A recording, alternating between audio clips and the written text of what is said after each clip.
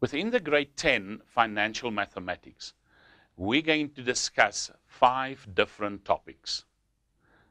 And they are simple interest, compound interest, hire purchase loans or agreements, inflation, and the last topic we're going to look at is exchange rates. Now, the first one we're going to discuss is called simple interest. Now, what is simple interest?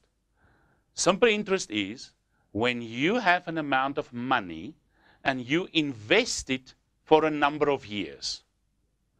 And at the end of that time period, so say for example, you invested for five years. At the end of the five years, the bank now will calculate your interest on that amount of money and they will add it to the money you invested and that will be paid back to you.